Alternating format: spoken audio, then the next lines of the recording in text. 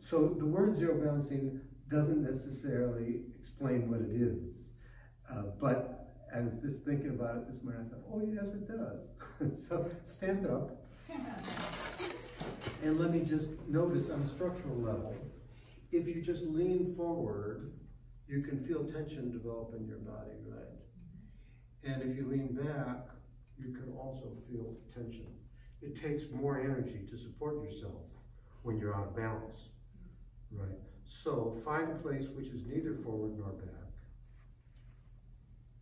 And notice that you now have less tension in your body. And you've now become zero balance.